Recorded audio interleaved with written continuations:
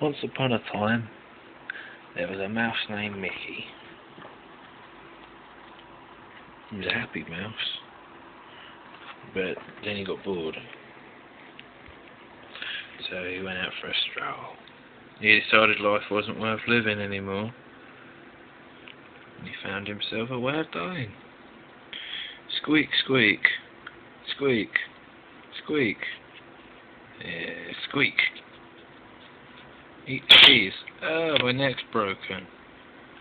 Ah. Dead. Dead. The end.